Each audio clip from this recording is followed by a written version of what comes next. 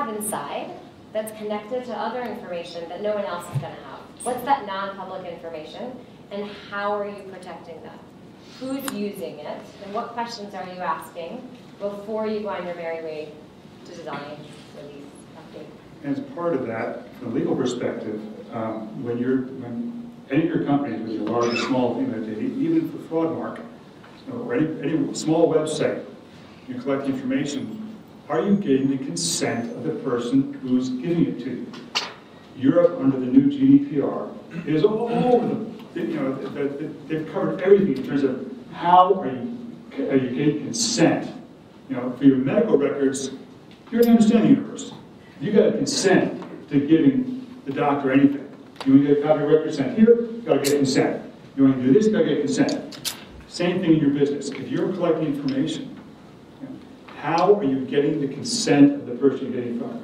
Because if there's a problem, if your legal language on your terms of use doesn't have it right, you know, that first off, the terms of use is not going to be enforceable. right? Um, and second off, you're, to have a problem in terms of, you know, can you collect it? And then when your, your small company is to be sold, you're going to sell all your data and everything else with it.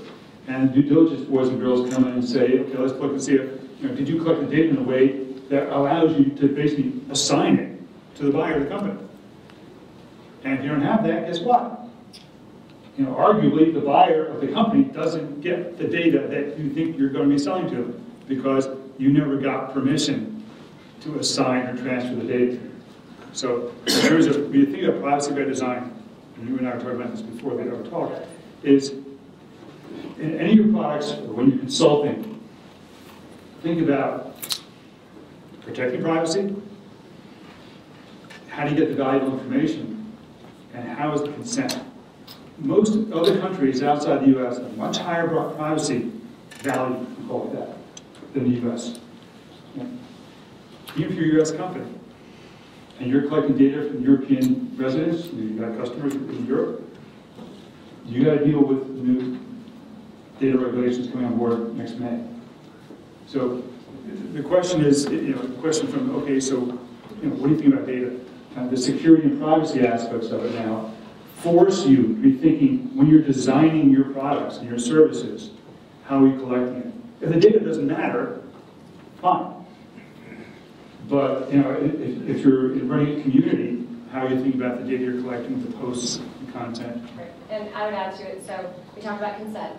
Um, and in the US, I think here people, we kind of tell you what we do in our privacy notice, and then we give you some choices. And in some situations, you have to consent. In Europe, it's completely the opposite. It's a fundamental right to privacy. You get privacy first, then I ask you, can I do something? And then you have the, if you say yes, and then you change your mind, I have to be able to easily undo what you just told me I can do very easily. You've forgotten. Right, the right to be forgotten. Um, and a lot of people, I love what you said. People think it is only if I'm a U, if I'm a European company, I have operations somewhere. No, no, no. If this follows the user, it follows the resident. Um, and I was just going to use a simple example in terms of uh, by design and the notice aspect. So I don't know how many people here have used the Unroll Me service. You you sign up to too many things, you want to unsubscribe really fast. So to me, this is a great example of where privacy by design goes in here. So you sign up for this thing, you unroll, it magically you don't get this anymore. Well, people then realized, oh, my information was sold. It was a free service. My information was sold. They didn't tell anyone who signed up for the service that to use the service, your information is going to be sold. And so executive management was, well, how did you think it was going to be for free in the first place? Well, I have a long list of ways you could have communicated that. That's for another day. But it's really about how did you communicate? Did you get consent to do that? How did you communicate? What notice did you provide to your customers? Where is that data going? Eh, who did you even send it to? What data did you tell them about me? So really thinking through all those basic steps to be able to help protect the data is a very, I mean, we talk about intrusions and all these other pieces, but the design element in that intersection of privacy and security is really fundamental. And if you're a company which is doing outsourced work, for example, you have US, small US software development company, and some of the the developers in Bangalore, right? And data is not being transferred, but is being accessed from Bangalore. You're in the cloud. Guess what? You're now, your US data is now going overseas. Not being transferred, it's being accessed. Right, So, you know, what we've gotta think about is cloud structure, where is the data being stored? Where is the data being accessed from? Karun, what do you think? How, how do people start thinking about that kind of issue in terms of security? This is a security and privacy discussion. Right, and, and that's part of, you know, where you, as you said, privacy by design means that you need to design your system from the ground up to be able to take care of these cases. And unfortunately, that's not usually on the top of the, you know, the CTO's mind or the CEO, you know, the new star founder saying, hey, I have this cool idea, I can go sell it to AT&T, for example, or, or to General Motors, or this hospital chain, and, you know, this is cool idea, they like it. And are they asking the right questions? Where is this data going? And typically, as you said, it's bootstrapped here with a couple of engineers and said, no, now we need to expand. Let's get a team in Ukraine, a team in Bangalore, a team in Thailand. And I've had companies, I've talked to companies which have all three, right? So now it's not just one country. And now each of those countries has their own regulations as well. So for, and so the way some countries are, are targeting that, Europe specifically, is that they want the data on their citizens to be in their location. They don't want it to be in the US. So you can, you talked about the access point, right? So the US does not have that, so there's a problem with- in the case that data in the US could be anywhere. In Brazil or in Europe, the data has to be in Brazil or Europe. Same thing, Russia and China, look what Apple just did, you know, in terms of, you know, they have it locally there. And I think India is also following a lot, India has been following a lot of the Western, uh, Western European standards. So they're coming down the same path as well. So a lot of new privacy regulations.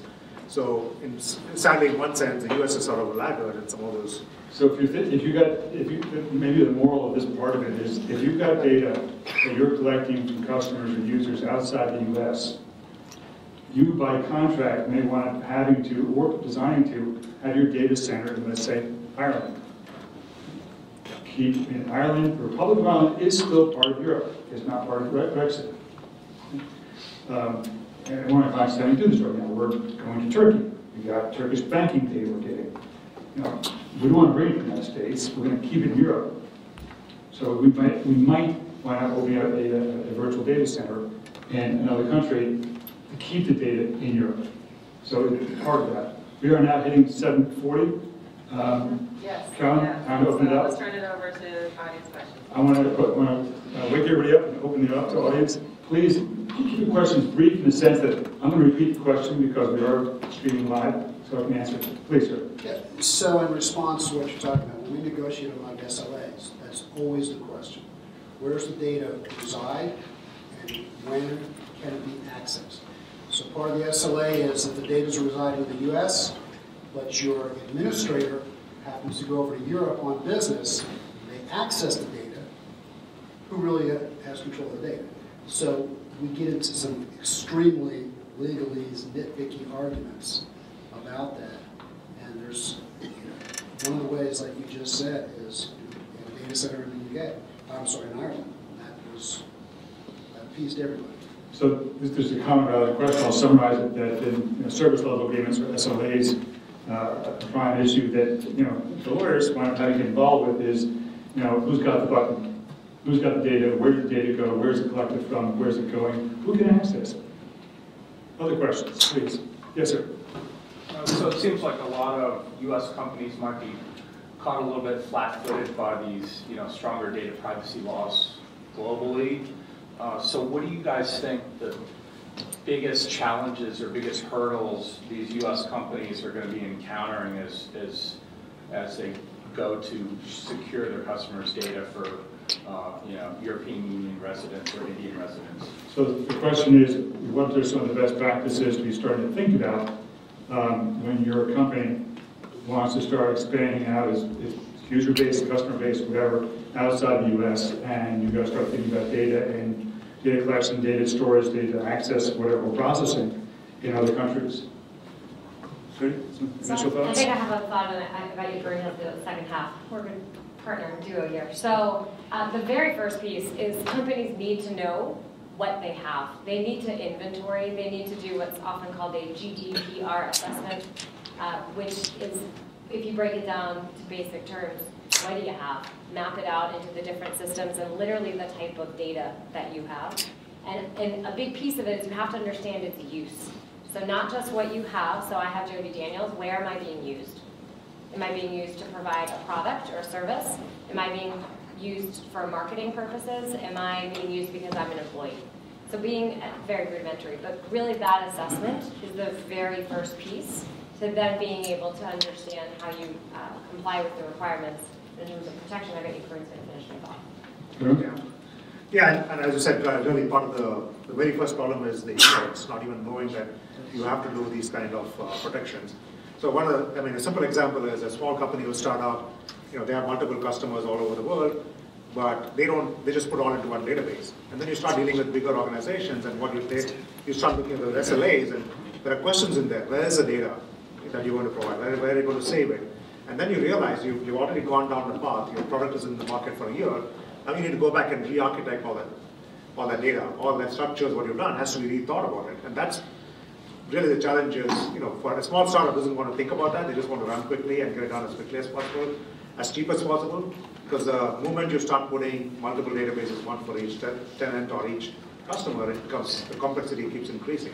So you need to design that from day one, the expectation that you will go larger, right? So that's what you need to sort of keep in mind, and that's the biggest challenge is, you know, security is always an afterthought, unfortunately privacy and security is always considered an afterthought. And it's going to cost you a lot more to fix it down the road than have to do it, you know, right in the beginning. And as a quick, uh, you know, you talked about some of the SLAs, right? So one of the companies that I'm working for, they said, yeah, the SLA, and they had this question, is the data going to go to India? Is it going to a third-party country? And we said, no, everybody's here.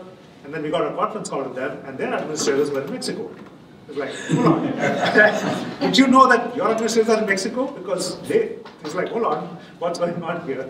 Samir? Yeah, so I, I just wanted to tag on some thoughts to, to what we just heard, which is that what you're hearing is you need to have a plan to begin with. Often there is no plan, and then you get compromised and your data gets taken. And when that happens, that's when you should you should pick up the phone. You shouldn't worry about trying to minimize, you know, you should have your lawyers and your business needs to understand its obligations to its, to its customers.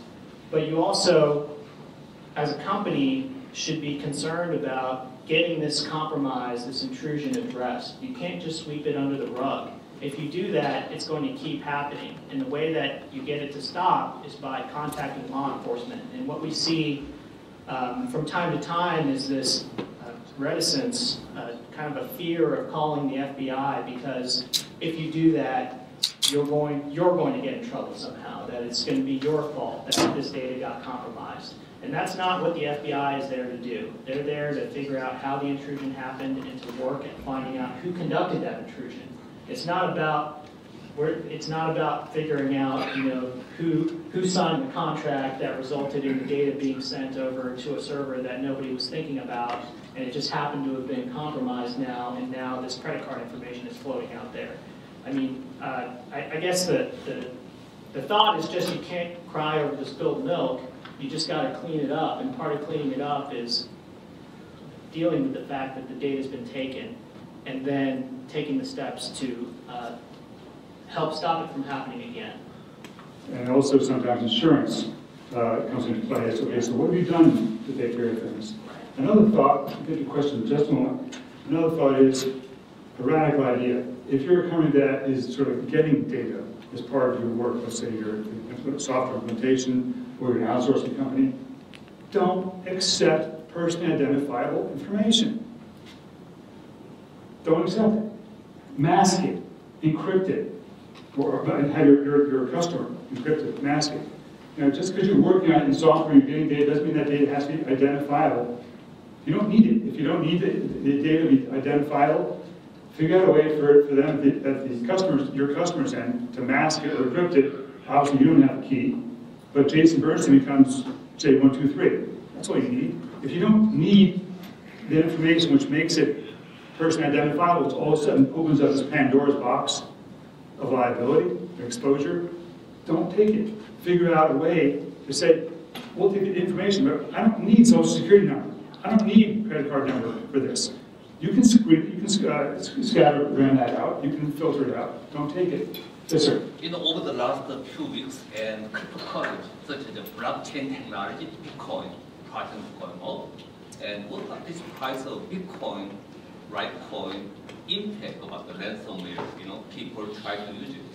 Can you make some comment about this? So, Repeat the Uh, The question. uh, the question is on Bitcoin, price of Bitcoin, the price of Bitcoin right now is what gold used to be going to. Um, So in in the context of Bitcoin, so what, in in ransomware, what, the- what are you seeing? So one of the other emerging trends that we're starting to see is the use of Bitcoin, Ethereum, Monero, Litecoin. There's, you know, maybe 10 or 15 other, Bitcoin too, they forked yeah, a couple the the recent, the recent split off of Bitcoin as well. Um, We're seeing these technologies used to commit crimes, used to commit money laundering. And um, in the context of certain types of ransomware, for example, uh, they have been attempted to be used for the purpose of collecting ransoms. And we've seen that used in other types of cases as well, not just in ransomware. There, there are methods, and I won't go into the details, of trying to identify who is the owner of a particular wallet or a particular uh, position on the blockchain or the ledger or whatever you want to call that piece of data that's sitting out there in the public domain for people to look at. There are technologies and methods and analytics that can be used to try and understand who actually controls this particular Bitcoin wallet or this particular Ethereum wallet. Uh, and ultimately, the money has to come out. The money has to be, it has to be turned into paper cash somewhere. And somebody's bank account somewhere is going to get that money. Um, so in some instances, we're finding that we're able to follow the money in that sense. Um, and, you know, the technology keeps getting better. And I think now there's, for example, with Monero, there is uh, kind of a tumbler internally built money laundering effect that happens with Monero, where when you put in one Monero and you give it to somebody, your one Monero is not actually going to them. I don't understand the algorithm specifically, but I know that you, the, the Monero is fungible, so when I give somebody one Monero, my one Monero might go to person Z when I wanted to pay person Y, and person Y is getting one Monero from someone else. So we're both, that, that the transaction has been executed, but it cannot be traced in the way that, for example, a Bitcoin transaction can still be traced. It's still A to B. A Monero transaction may be, may go through several routes, and it's not going to be that particular coin that I put in that ends up in the pocket of whoever I'm paying. So it's, it's still gonna matter, the good guys are always being one step behind the bad guys. It's always an evolving technology, and there are, uh, there are analytics that are done to try and track where the money goes. And even there's public information too on the internet. You can go look and see, there's blockchain, I think it's blockchain.info, that can give you kind of that high-level picture of where money is moving. Let's, uh, let's do some Uh, questions. The Yes. European restrictions on keeping their data in Europe and not letting it go out actually goes back to the 1960s. That was the case back then, and it was a problem back then. The comment was uh, the concept of, of a country wanting to keep its data in the country, at least certainly on the servers of the country, goes back to the 60s and and perhaps, uh, you know, the concept of data in and of itself as, a, as an asset was, uh, was being born. Any other questions? Okay, so to wrap up, uh, you know, it's, an, it's a world now where obviously everybody's thinking about these kind of issues in the context of your own business. Uh, So uh, we're all becoming far more aware of how data is transforming our lives and also how you are using to transform your business.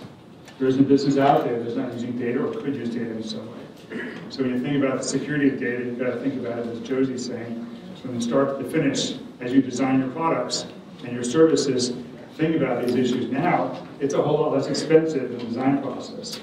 When you have things that go wrong, um, you know, call law enforcement. In these cases, It's not like it is on television. They are your friends. Um, They can act, you know, if, if something happens at a big enough scale, um, you get them on wire fraud, you get them within 48 hours or so, they have connections all over the world, banks in almost every single country, maybe except for, for North Korea. That they can get the money back sometimes, if it's fast enough, by wire. It's gone from the US, but in that cycle, it can come back. Want to end of finish up. Um, As you think about what you should do with your, with your data from a cloud standpoint, uh, where you're putting it, how you're putting it, uh, be more aware of not just what you want to do, but what is going to be required of you. And if you're, let's say you're a US, US company, right, and eventually you think you might be acquired, the the company that's acquiring you is, is Belgium, right, or India. They're going to be far more interested in your data in, terms of, of how you're protecting it, how you're getting consent than a US company will. So when you start having those questions at early due diligence, you want to sell your company, be prepared for that. Yes, here's how we do it. So again, we're not just behind the game, we just have a lot lower, uh, I won't say value, but focus on the protectability and, and- and the right of privacy, right to be forgotten. Right? California is leading those, some of those efforts in the US. You know, if you're doing business in certain states, you gotta think about California, is the wacko state. But they're the ones who are the bell setters. So I want to thank everybody for, uh, for your, for your attention, for your comments and questions. I want to thank my panelists, and thank Wireless Technology Forum for the, uh, for the, for the place and the time. Thank you and have a good evening.